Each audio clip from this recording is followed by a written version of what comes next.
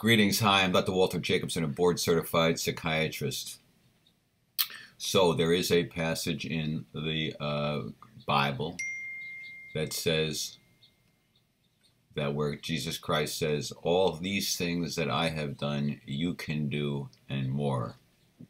And he makes some kind of comment like, Verily I say to you, if you have faith that you can move this mountain from here to there, you know, uh, verily it shall be done.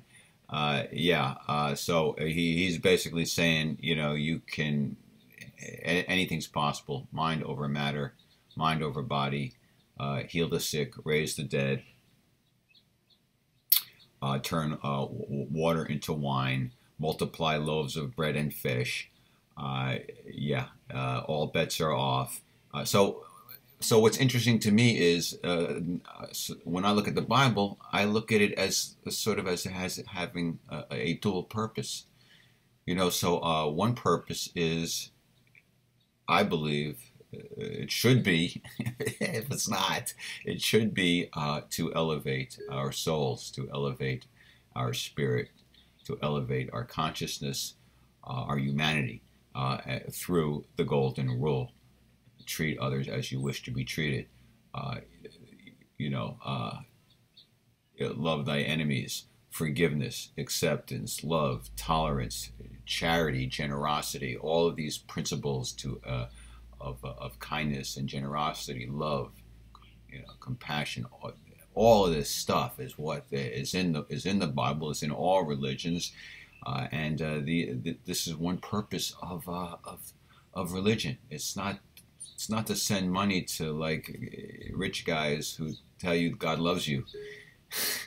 you know, no, it's to actually practice what what they preach, and oftentimes actually don't practice themselves. So,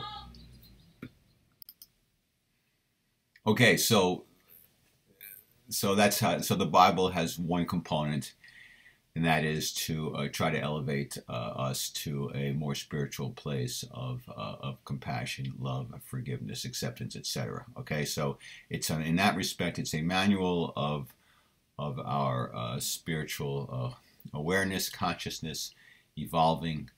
Uh, you know, bringing us closer to eh, God. But if you don't believe in God, bringing us closer to a a universal principle of love I think that that uh, that can't be argued. That that's that's a good goal. Um, okay, but then there's this other part of the Bible that it's so one part is a manual of right living, of right mindedness and right uh, living, and then the another part of the manual is it's actually a manual of reality manifestation. Yeah, uh, in uh, Christ is saying, uh, you know, all these things that I have done you can do and more. He's basically uh, trying to make the case that we are like him, that we, that, that we are, we have the same powers and abilities and capacities as him, that we are all the Son of God.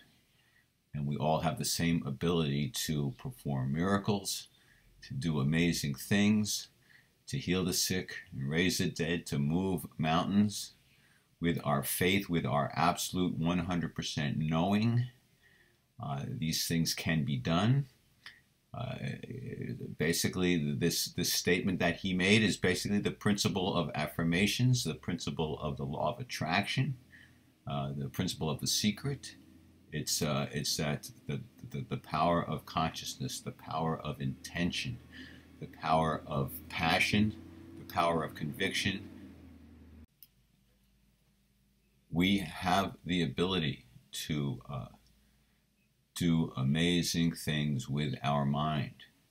That reality is very plastic, it is moldable. Uh, we can manifest, we can create, we can transmute, we can transform. And the Bible is actually a manual of, of, uh, of actualization, of reality manifestation. And he says, Christ says how to do it. He teaches you how to pray, uh, how, how, to have faith, uh, how to move mountains. So, uh, So if you want to believe in the Bible, and uh, I got to tell you, there's a lot of stuff in it that's hard to believe, but uh, the stuff that uh, that I like to believe is is the, in my mind the good stuff of love you one another, the golden rule, uh, faith can move mountains. Yeah, and uh, oh, and yeah, I'll leave it at that. Okay, take care. Peace be with you. See you next time.